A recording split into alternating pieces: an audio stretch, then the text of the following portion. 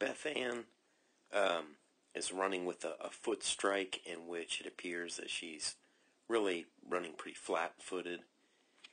Um,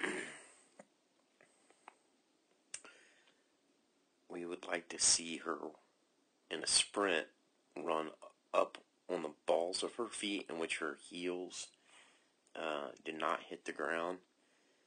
Um, and she really has very little arm movement. We'd like to see, uh, it looks like most of the arm movement here is at her elbow.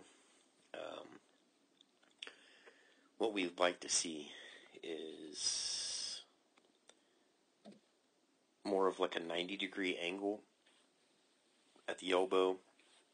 And It looks like she's running with uh, closed hands or fists. I'd like to see relaxed hands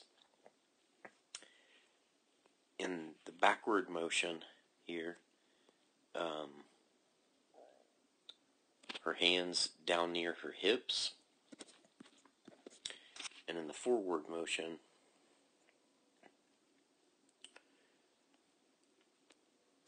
her hands make it almost up near her cheek. And in true sprinter form, we'd like to see her her knees get almost parallel to the ground. Um, so as a goal for Beth Ann, um, she should practice running up on the balls of her feet with higher knees and use her arms more to her advantage.